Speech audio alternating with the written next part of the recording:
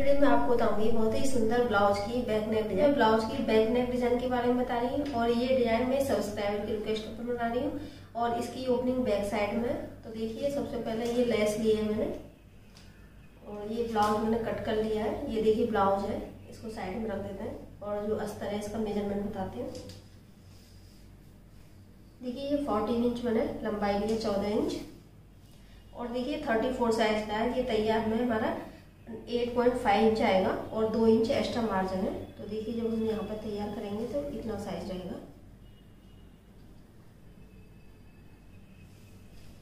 Shoulder six inch मुड्डे six inch और अभी नेक डिज़ाइन के बारे में बताते हैं। तो देखिए, ये नेक हमारा ब्रॉड हुआ क्योंकि ये पॉट नेक है। तो शोल्डर से थ्री पॉइंट फाइव इंच ले लें। और लंबाई आप अपने साइज़ के अनुसार ले सकते हैं। जैसे मैंने ये ग्यारह इंच लिया और इस तरह से एक बॉक्स बना दिया है, और अभी हम डिज़ाइन देते हैं। तो देखिए, उसके लिए शोल्डर से यहाँ पर थ्री पॉइंट फाइव इंच नीचे एक मार्किंग कर देते हैं। और मार्किंग जो है, ज़्यादा नहीं वन इंच के आसपास हमको अंदर की साइड लेना है, और अभी नेक ड्रॉ करते हैं। तो देखिए, जो शोल्डर से है, ये इस तरह से आएगा। जो हमने यहाँ पे वन इंच लिया है, और यहाँ से हमारा इस तरह से, ये थोड़ा सा और ब्रॉड हो जाएगा। तो देखिए, कुछ इस तरह से आएगा ये। और सेम डॉट पे इसको कट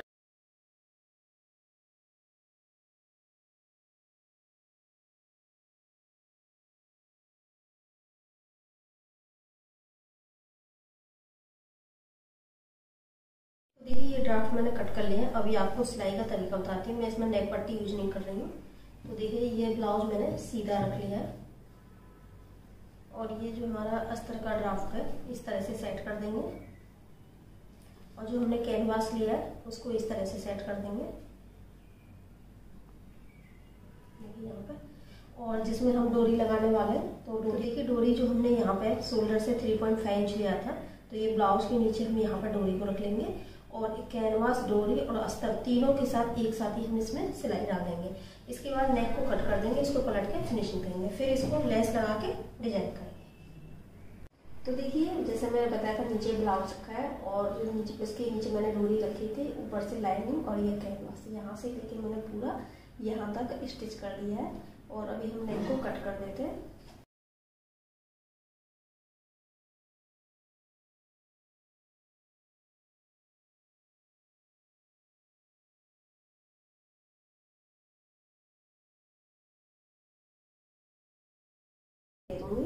और देखिए ये मैंने जो लेस ली है, ये राइट साइड का पार्ट है तो यहाँ पे हम यहाँ से लेके, जो हमारी कमर है, वो पट्टी यहाँ से लेके पूरे नेक को अटैच कर देंगे। जो लेफ़्ट साइड में उसको खाली यहाँ तक ही रखेंगे।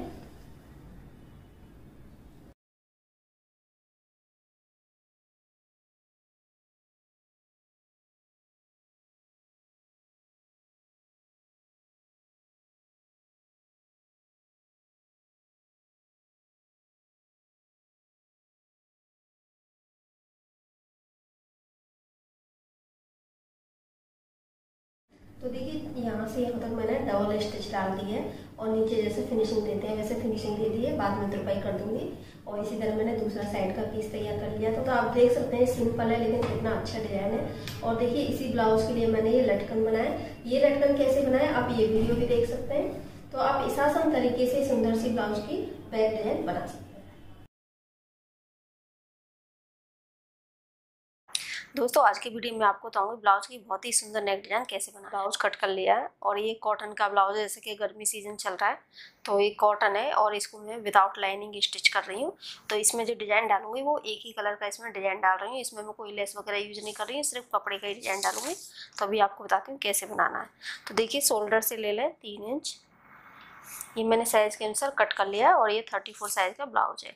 तो जो डिज़ाइन आएगी, पूरा स्ट्रेट कट होगा, नीचे तक दो पीस होंगे इसके। तो देखिए, नीचे भी तीन इंच का निशान लगा लें और एक स्ट्रेट लाइन खींच लें। अभी हम इस पीस को कट कर देंगे, जो नेक है।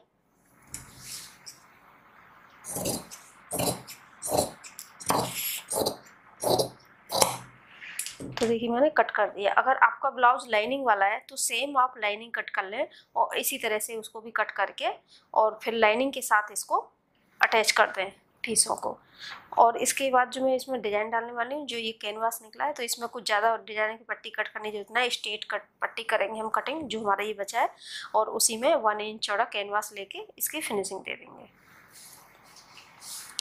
तो देखिए, मैंने ये स्ट्रेट पट्टी कट कर ली है। और इसमें मैंने ये कैनवास भी कट कर लिया है।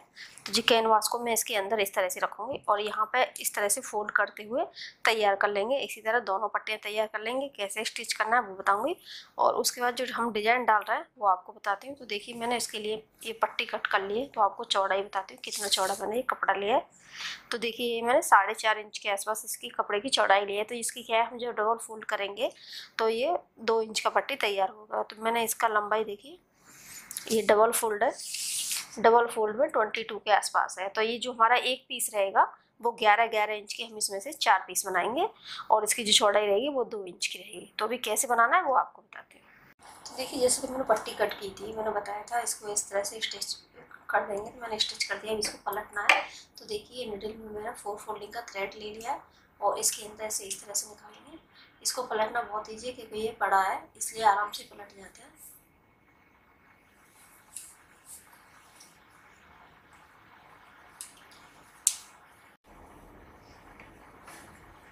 देखिए, इस तरह से निकाल देंगे। अब यहाँ से हम स्टार्टिंग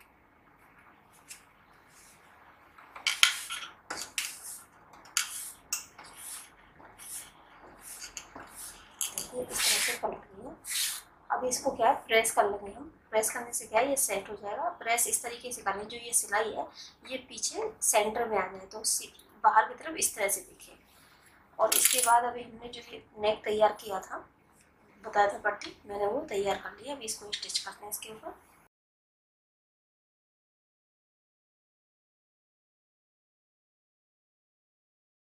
तो देखिए प्रेस करने के बाद ये सेंटर में सिलाई ले ली है और बाहर की तरफ़ आप देखेंगे तो इस तरह से फिनिशिंग आएगी इसकी।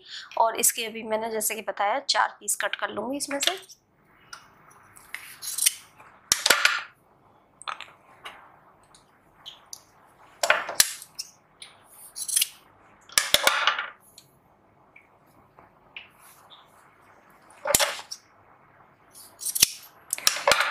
तो देखिए, ये पीस भी मैंने नीचे नॉर्मल जैसे पट्टी लगा के फिटिंग करते हैं, जैसे मैंने सेम शेप दे दी है इसमें भी, जैसे आप नॉर्मल ब्लाउज में करते हैं।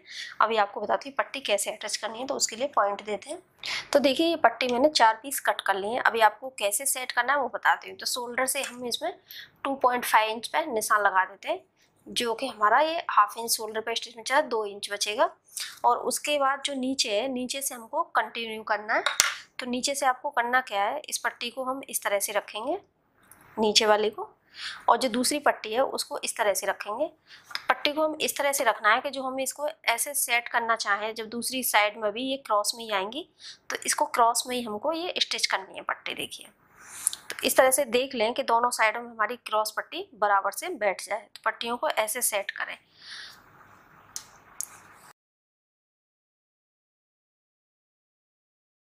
तो देखिए, इसी तरह मैंने ऊपर भी सेट कर दिया एक ही लाइन में। तो आप देख रहे हैं जो ये पट्टी है, हमारी नीचे वाली पट्टी है, वो ऊपर जाएगी और जो ऊपर वाली पट्टी है, वो नीचे आएगी। सेम इसी तरह से जैसे आपने नीचे किया है सेम आपको ऊपर ही उसी तरीके से करना है। तो ऊपर भी आपको जो हमने यहाँ पर टू पॉइंट फाइव इंच पे शोल्डर पर निशान लगाया है तो इसको इस तरह से सेट कर लेंगे पट्टी को। तो देखिए सेम मैंने 2.5 इंच राइट साइड में लगाया वैसे ही लेफ़्ट साइड में भी लगा लिया था मार्किंग तो सेम उसी तरह से आप देखेंगे तो इस तरह से ये पैच हमारा सेट होगा। तो सेम आपको यहाँ से लेके यहाँ तक स्टिच करना है और नीचे भी सेम करना है। तो देखिए मैंने ये इसी तरह से, आप देख सकते हैं जो नीचे की साइड की है लेफ़्ट साइड में नीचे लगाई है हमने तो राइट साइड में ये ऊपर आई है लेफ़्ट साइड में जो ऊपर लगी है वो नीचे आई है, और सेम इसी तरह से ऊपर आ रहे हैं तो आप देख सकते हैं दोनों तरफ़ हमारे एकदम बराबर से आ रहे हैं तो जैसे मैंने ये ग्यारह इंच की पट्टी ली थी तो अभी आपको बताती हूँ तैयार में ये कितनी इंच आ रही है, अगर आप इसको थोड़ा कम ब्रॉड करना चाहते हैं तो कर सकते हैं तो देखिए यहाँ से लेके आठ इंच का गैप आ रहा है इसमें, जबकि हमने नेक तीन इंच में किया, क्योंकि ये अभी सिल गया है तो अभी ये फैलेगा नहीं। अगर हम सिलते नहीं तो ये और भी ज़्यादा फैल सकता था। इसीलिए आप जब कट करें ये ब्लाउज तो 11 इंच या 10 इंच भी लेंगे तो भी चलेगा। एक एक इंच इसमें अंदर मार्जिन रहेगा और 8 इंच आपकी ये पट्टी इस तरह से तैयार हो जाएँगी। अगर आप इसको और ज़्यादा बेहतर लुक देना चाहते हैं तो लेस भी लगा सकते हैं, लेकिन मैं इसमें कुछ भी नहीं लगा रही हूँ। तो इसी आसान तरीके से आप ये सुंदर सी नेक डिज़ाइन बना सकते हैं ब्लाउज के लिए। दोस्तों, मुझे उम्मीद है कि हमारा वीडियो आपको पसंद आया होगा। वीडियो को शेयर करें, लाइक करें, चैनल सब्सक्राइब करें। Thank you.